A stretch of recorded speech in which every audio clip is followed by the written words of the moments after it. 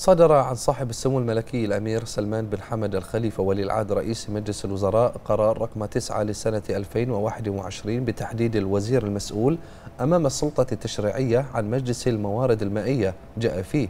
يكون وزير شؤون الكهرباء والماء هو الوزير المسؤول أمام السلطة التشريعية بمجلسيها عن مجلس الموارد المائية